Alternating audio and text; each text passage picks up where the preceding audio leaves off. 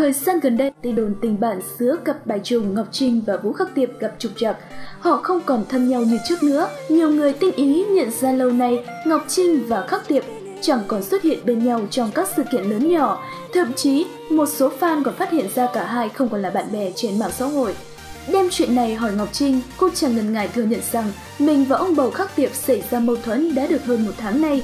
Trong lúc bốc đồng, giận dỗi, chúng tôi đã hủy kết bạn với nhau, nhưng cả một tuần nay, cả hai đã làm hòa. Tuy nhiên, Ngọc Trinh cho biết thêm mối quan hệ giữa cô và Vũ Khắc Tiệp hiện tại đã trở lại bình thường, nhưng cả hai vẫn chưa kết bạn lại với nhau trên mạng xã hội.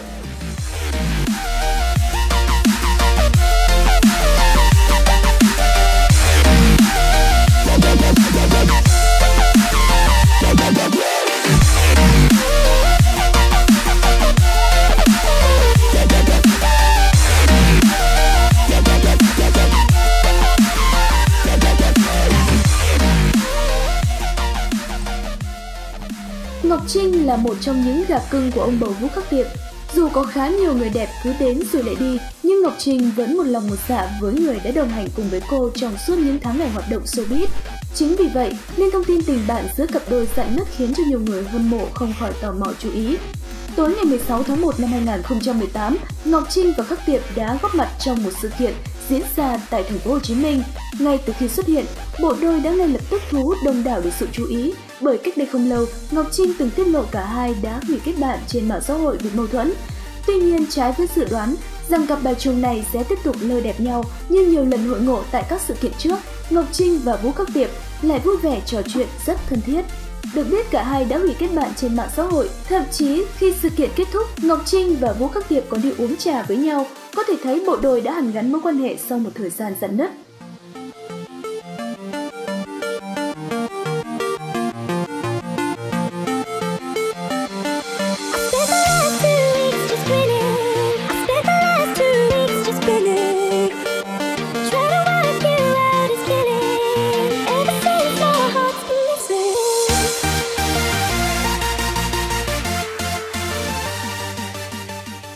Hoàng nội y Ngọc Trinh, tên thật là Trịnh Ngọc Trinh, sinh ngày 27 tháng 9 năm 1989 tại thị trấn Tiểu Cầu, tỉnh Trà Vinh, trong một gia đình nghèo.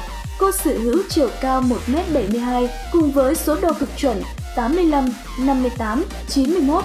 Ngọc Trinh nhanh chóng gia nhập làng thời trang Việt từ năm 15 tuổi, 16 tuổi tham gia và giành giải phụ cuộc thi Hoa hậu trang sức. Năm 2005, Ngọc Trinh tham dự siêu mẫu Việt Nam và đoạt giải người đẹp ăn ảnh. Trở lại làng giải trí Việt Nam đầu năm 2011, Ngọc Trinh ngay lập tức gây được sự chú ý với giới truyền thông bằng một thân hình đẹp với dáng vẻ thướt tha và làn da trắng mềm mại đến khó tin.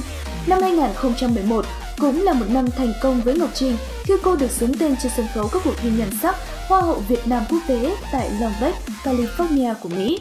Học pha chế tại một câu lạc bộ PR do anh trai đang làm quản lý, tại đây Ngọc Trinh đã gặp được Vũ Khắc Tiệp, giám đốc công ty Venus, một phù thủy mắt tay trong giới chân dài. Anh đã ngỏ lời mời cô về làm người mẫu độc quyền.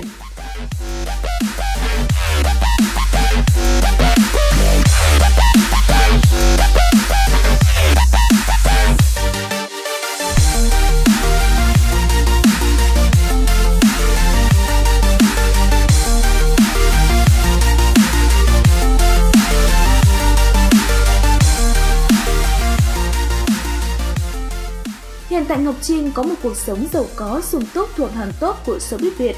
Ngọc Trinh sở hữu một căn hộ khá hiện đại và sang trọng tại thành phố Hồ Chí Minh. Căn hộ được thiết kế với tôn màu tím trắng trẻ trung, sang trọng và được trang trí bởi rất nhiều nội thất đắt tiền. Những chiếc xe hơi của Ngọc Trinh lái cũng thường có giá bạc tỷ. Ngọc Trinh từng gây sốt khi tiết lộ mỗi dịp sinh nhật cô đều đổi xe một lần, chiếc xe sau lại có giá cao hơn chiếc xe trước. Tháng 12 năm 2014, Ngọc Trinh gây chú ý khi tạo chiếc xe Range Rover có giá 8 tỷ đồng. Chiếc xe BMW 750 được cô sử dụng trước đó đã có giá lên đến 5 tỷ đồng. Ngoài nhà lầu xe hơi, Ngọc Trinh còn đầu tư vào mua sắm hàng hiệu. Cô sở hữu bộ sưu tập giày khủng, có giá từ chục triệu đến hàng trăm triệu đồng. Bộ sưu tập túi sách của Ngọc Trinh cũng xuất hiện hàng loạt những chiếc túi sách limited, thậm chí có chiếc còn lên đến cả tỷ đồng.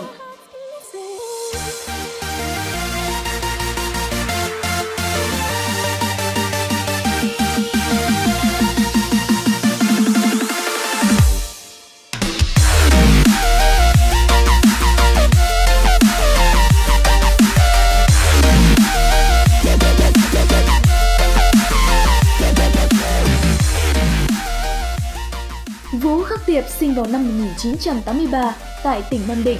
Anh được biết tới là ông trùm của giới chân dài, giám đốc của một trong ba công ty đào tạo và cung cấp người mẫu hàng đầu tại Việt Nam. Tiệp Venus từ là bồi bàn thành một ông trùm chân dài 27 tuổi, cầm đầu một cơ số chân dài rất nổi tiếng, giám đốc của một trong ba công ty đào tạo và chuyên cung cấp người mẫu hàng đầu Việt Nam là những giới thiệu cơ bản về Vũ Khắc Tiệp. Tuy nhiên câu chuyện thành xanh và để anh sở hữu một thương hiệu của trai gốc Nam Định này mới là một điều thú vị. Trên con đường thành công của Ngọc Trinh thì đâu đâu cũng thấy bóng dáng của Vũ Khắc Tiệp. Anh chính là người phát hiện ra Ngọc Trinh từ khi Trinh mới là một cô gái chưa học hết lớp 9, lên thành phố kiếm tiền để phụ giúp gia đình mình bằng nghề xếp bia. Dưới sự đào tạo và sự giúp đỡ của Khắc Tiệp thì Ngọc Trinh đã vụt sáng trong làng giải trí, vốn đầy rẫy những chân dài, người đẹp. Hiện nay thì cô tạo yên vị với ngôi vị nữ hoàng nội y và đã bắt đầu hái ra tiền với tên tuổi của mình. Vũ Khắc Tiệp vẫn cần phải theo sát Ngọc Trinh và tiếp tục dịu dắt. Có thể nói, Vũ Khắc Tiệp là một người đàn ông đã công khai đứng sau Ngọc Trinh và đã nâng đỡ cô trên con đường công danh và sự nghiệp. Mọi người nhìn Vũ Khắc Tiệp như một đại gia bởi anh đã sở hữu trong tay dàn chân dài vô cùng đắt giá, chưa kể những món tài sản đã được anh trưng trổ ra ngoài một cách rất công khai tự nhiên. Cuộc sống của Vũ Khắc Tiệp bao phủ bởi một lớp hào quang xa hoa và rất đẳng cấp. Tuy nhiên đằng sau Vũ Khắc Tiệp là cả một gia đình khá đơn sơ nghèo khổ đến khó tin. Để có được ngày hôm nay, Vũ Khắc Tiệp phải cố gắng, giác cực lực và phấn đấu hết mình.